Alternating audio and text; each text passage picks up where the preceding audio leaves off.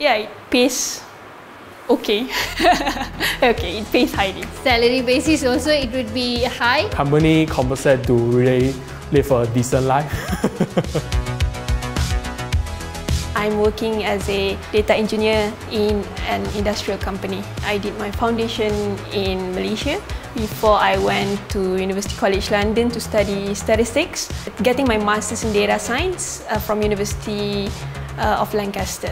We work around data pipelines, making the data in the form that user want to see and then putting it in a platform where user can access it currently working as a data scientist in regional office. So I was graduated with bachelor degree in computer science from Tunku Abdul Rahman University and Campbell University.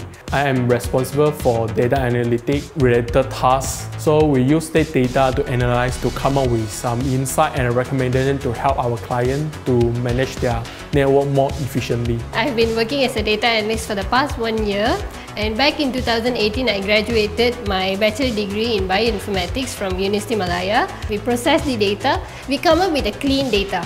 So once you get clean data, you can start with your statistical analysis which aligns with your objective. Can learn a lot of new tools get to know people from different parts of the world. We can involve in a very impactful project in the sense that data allows the company to earn really a lot of money like maybe Facebook, they mean million to billion, like Apple, which is trillion. That is actually because of the data.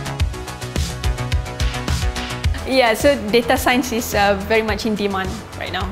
So uh, many companies are looking for talents. Now we are running after digitalization and also transformation.